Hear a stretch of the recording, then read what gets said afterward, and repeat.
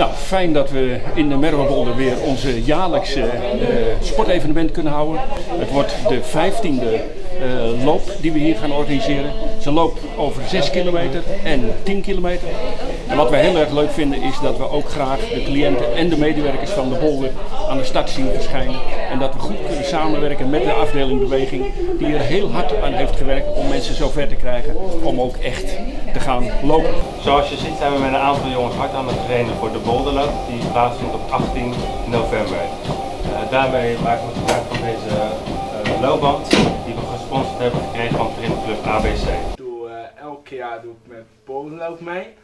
En ja, ik vind het super leuk om te doen eigenlijk.